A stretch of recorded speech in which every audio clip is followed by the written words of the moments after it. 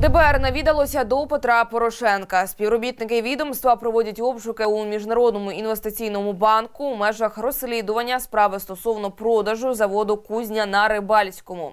Про це повідомила речниця ДБР Анжеліка Іванова. Згідно з даними, кінцевими бенефіціарами банку є Петро Порошенко та Ігор Кононенко.